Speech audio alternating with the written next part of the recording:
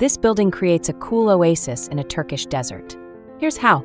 Designed by Bilgin Architects, the central control building for Kalyon Karapinar solar power plant houses technological infrastructure for one of Europe's largest solar farms. To protect itself from the harsh desert conditions, its architecture is inward looking. A double layered envelope shields the interior from the sun. The exterior facade features 7,200 stainless steel panels of varying transparency.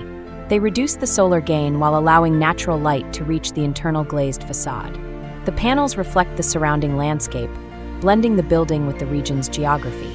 The interior spaces overlook a lush internal courtyard. Together with a green roof, it reduces thermal gain and creates a favorable microclimate. Endemic plant species, which need minimal irrigation and maintenance, are thriving there.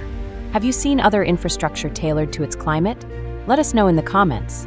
Follow for more.